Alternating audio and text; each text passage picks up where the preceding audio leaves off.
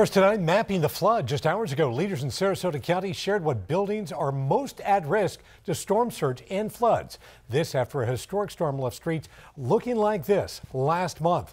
For the very first time, every county and city in Florida is identifying their most vulnerable structures under a new state mandate. Those who came out in Sarasota told 10 Tampa Bay's Chris Hurst they are preparing for the worst. I want to see how close everything is to my home. Braving a thunderstorm, Stephen Venditti wanted to see for himself. 68 Kings right here. I'm back in here someplace.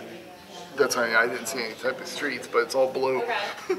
Not good. What engineers think will happen to his home in the future when you combine sea level rise, tidal flooding, and heavy rain. We're living a, li lap of luxury down here. Let's let's make it work. We can make things better. The Resilient Florida program is funding grants for counties and cities to continue studying where the water will go by 2040 and 2070, what buildings must be retrofitted or saved, and later, what to pay for first and how getting our list of projects that we really feel are going to make a big impact and that we have the design and that we have the reason for and really going after and implementing those projects. Our house is on that pond right there.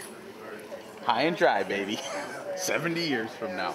In addition to seeing these maps of the areas of unincorporated Sarasota most vulnerable, the county took feedback to fine tune their list of buildings in danger. If you noticed uh, a bathroom at a beach is built higher and it's built with vents at the bottom so it can flood and it will drain. But it's not just the beach. Some inland areas of Sarasota top the priority regions, surprising engineers. There's a lot of impacted areas along the rivers and further inland in the county. Meaning everyone here must now figure out how to prepare for the future and how to afford it.